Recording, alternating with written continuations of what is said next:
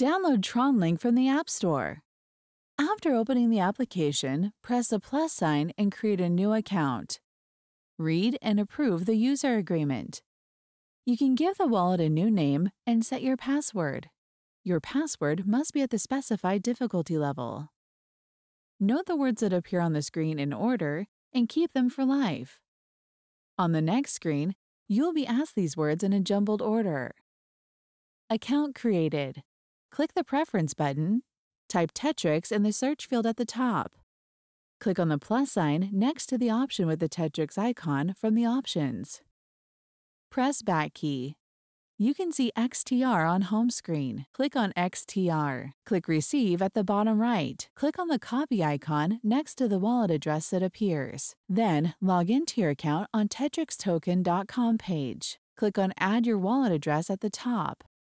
Paste your copied wallet address into the blank that appears, and then press the Add Wallet button at the bottom to activate it. Now, your tokens on your website are ready to be sent to your wallet address.